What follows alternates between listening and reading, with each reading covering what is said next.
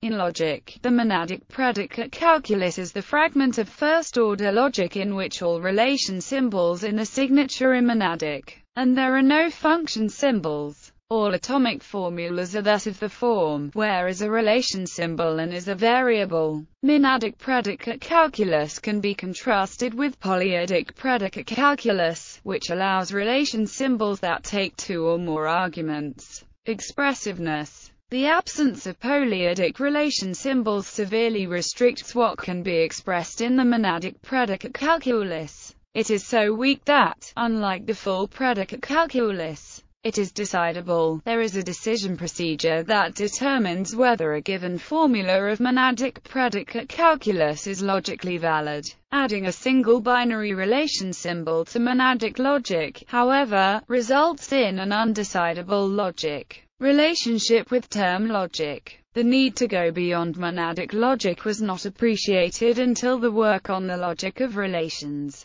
by Augustus de Morgan and Charles Sanders Peirce in the 19th century, and by Frege in his 1879 Begriffsschrift. Prior to the work of these three men, term logic was widely considered adequate for formal deductive reasoning. Inferences in term logic can all be represented in the monadic predicate calculus. For example the syllogism all dogs are mammals. No mammal is a bird, thus, no dog is a bird, can be notated in the language of monadic predicate calculus as where, and denote the predicates of being, respectively, a dog, a mammal, and a bird. Conversely, monadic predicate calculus is not significantly more expressive than term logic. Each formula in the monadic predicate calculus is equivalent to a formula in which quantifiers appear only in closed subformulas of the form or these formulas slightly generalize the basic judgments considered in term logic. For example, this form allows statements such as, every mammal is either a herbivore or a carnivore. Reasoning about such statements can, however, still be handled within the framework of term logic although not by the 19 classical Aristotelian syllogisms alone. Taking propositional logic as given, every formula in the monadic predicate calculus expresses something that can likewise be formulated in term logic. On the other hand, a modern view of the problem of multiple generality in traditional logic concludes that quantifiers cannot nest usefully if there are no polyadic predicates or relate the bound variables. Variance the formal system described above is sometimes called the pure monadic predicate calculus, where pure signifies the absence of function letters.